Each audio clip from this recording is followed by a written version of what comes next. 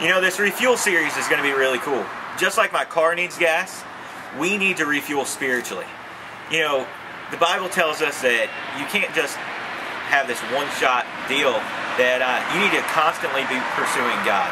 And um, so that's what the Refuel series is all about.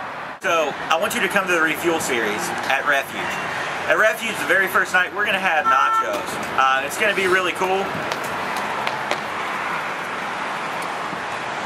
That was weird.